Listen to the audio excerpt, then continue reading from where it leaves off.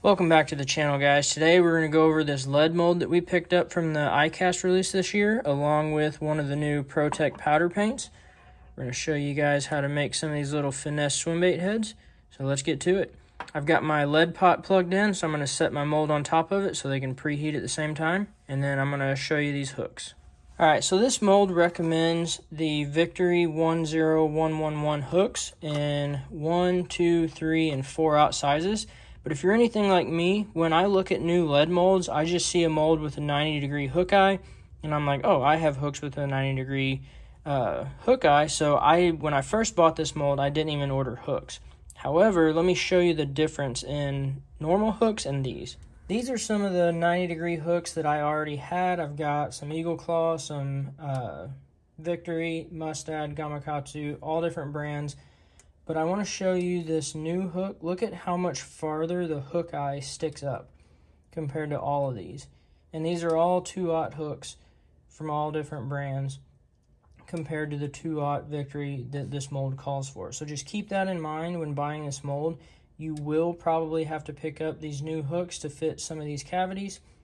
But yeah, just wanted to touch on that just so you guys aren't doing what I did and just order the mold, not the hooks, and think that your current hooks will fit. Our lead is hot and we are ready to get this mold loaded. So this is the 2-aught and an eighth ounce. We're going to use the 3-aught and the quarter ounce size. And I'll leave these little screw locks down below. It's the same screw locks that you use for making underspins. Um, there's two little slots in this mold, one for the hook and one for the screw lock. Just make sure you have those in place. close this guy up. Make sure we get a nice good seal.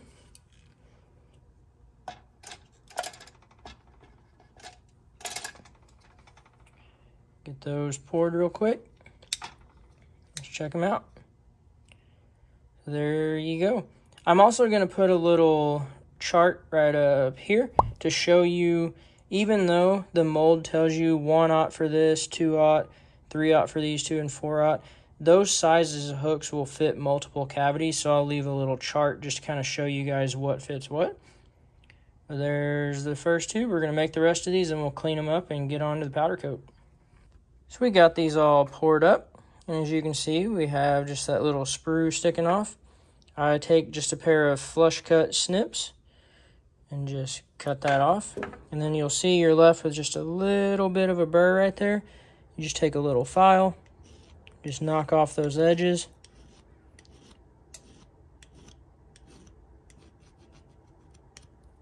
And now you're ready for powder coat. Now on some of these you will notice there's a little bit of lead that'll kind of flash up around that hook eye.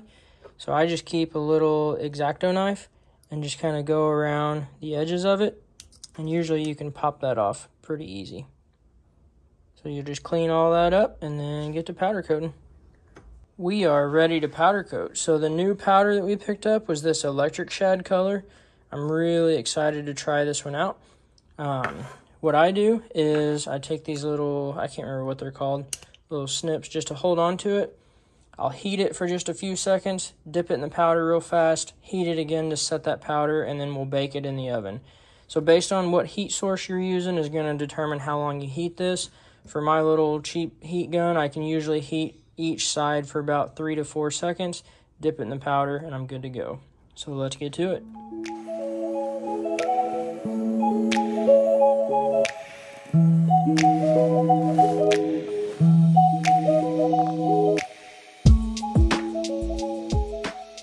We got them all dipped in powder. We're going to throw them in the toaster oven real quick. We're going to bake them at 350 degrees for about 30 minutes, and then we'll check them out when we're done. We got everything out of the oven. So you can see this is that electric shad color. And you can see it kind of has the same effect as like the violet sparkle flake that we use in soft plastics.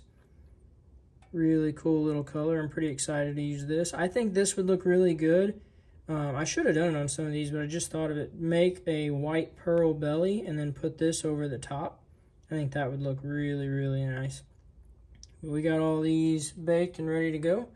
We're going to put some eyeballs on it. We're just going to use our super glue gel. Put a dot of super glue on each side. And these are just um, four millimeter eyes that I got from, I don't remember, Amazon or one of the um, Chinese companies. I can't read the writing that's on there. I just know they're four millimeter eyes. Get whatever eyes you would like. You might be able to fit a five millimeter in this quarter inch size or quarter ounce size, but I like the looks of these fours. And there we have that little guy. I'm gonna go ahead and get the eyes on the rest of these and then we'll check them all out. And there we have the final product. This is the electric shad powder coat. This is the quarter ounce size, three aught hook, four millimeter eye. And then over here on the eighth ounce size, we have the two aught hook and a three millimeter eye. I think these are gonna be great little finesse swim bait applications. I'll probably on the eighth ounce size throw my little 2.6 inch swim bait most of the time. And then on the bigger quarter ounce, I'll probably go up to the 3.8 inch. Really, really excited to get these new little swim bait heads. Let me know what you guys think. We appreciate you guys watching and all the continued support. And as always, we'll catch you on the next one. Thank you.